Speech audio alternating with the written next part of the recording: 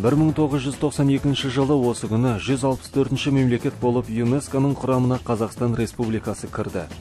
Бұл әлемдік мұра тізіміне Қожа Ахмет Яссауи кесенесі мен Тамғалының таңбалы тастарының енуіне ықпал етті. Бұдан бөлек Сарыарқа, солтүстік Қазақстанның жазығы мен көлдері аталымы бойынша Қорғалжын мен Наурызым қорықтары да осы тізімнен орын алды.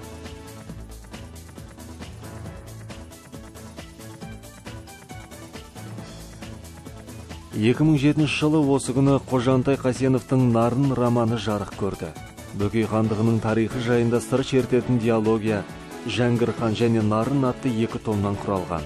Туындыда Жәңгір хан мен Құрманғазы, Дәулеткерей сынды қайраткерлер жайында баяндалады.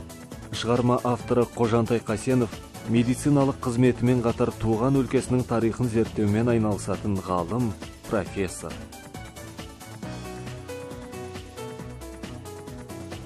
Бүгін биологиялық әр алуандылықтың халықаралық күні.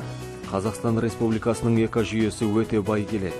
Еліміздегі флора мен фауна құрамына 6000 өсімдік пен құрамында 14 әлемдік маңыздылығы бар 500-дей құс 14 түрлі бауыр мен жорғалаушылар мен 52 амфибия және 150 түрлі балық кіреді.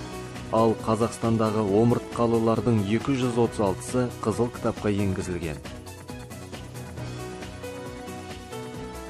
2009 жылдың осы күнінде қаныш сәтбаев атындағы қазақ ұлттық техникалық университетінде жоғарғы оқу орындар арасындағы республикалық электронды кітапхана жобасы таныстырылды.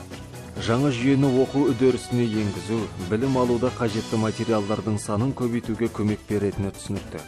Нәтижесінде ғылыми зерттеу нәтижелеріне де байланысты ақпарат айналымға түседі. Бұл жүйені енгізу Science Direct бағдарламасы арқылы жүзеге асырылады. 1813 жылы осы күні неміс композиторы дирижер философ рихард вагнер дүниеге келді алғашқы пьесасын вагнер 15 жасында ал музыкалық туындысын 16 жасында шығарған 20 жасынан бастап театрда хор жетекшісі қызметін атқарды осы уақытта ол әйгілі фей махаббатқа тыйым салу операларын жазған өнерсүйер қауым вагнердің туындыларының арасынан риенци ұшқыш голландық опералық шығармаларын ерекше атап өтеді